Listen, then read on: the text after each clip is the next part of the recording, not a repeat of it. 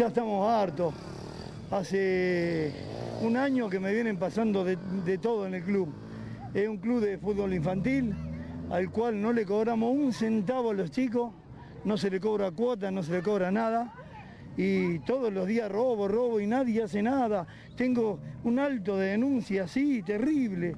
Eh, y me, robaron el lunes a la noche, el martes a la noche, el miércoles a las 10 de la mañana y el jueves, el, último robo, el jueves a las 9 y media de la mañana, que yo lo corrí al que me afanó y que lamentablemente tengo 60 años, porque si yo no tuviera 60 años y lo hubiese alcanzado, no sé qué hubiese pasado. Vienen, rompen candado, te sacan pelota, te sacan todo. Es un desastre. Hicimos denuncia, pero no, nadie viene, a, un policía, que venga un policía a ver, a ver qué pasó, qué no pasó. No sé por qué, tienen miedo al barrio. Yo hace que vivo acá, 60 años hace que vivo acá.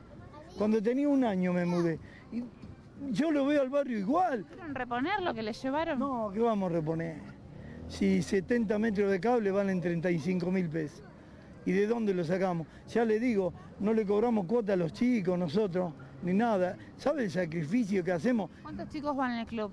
Y hay entre 80 y 90 chicos, más las categorías que, grandes que juegan en cancha de 11. Estamos recansados, eh, nos juntamos con todos los padres, que la verdad que eh, nunca pensé, nunca pensé, de- de- del 90% de los padres que están acá, nunca pensé que iban a venir a darme una mano y vinieron y me la dieron a la mano, nunca lo pensé.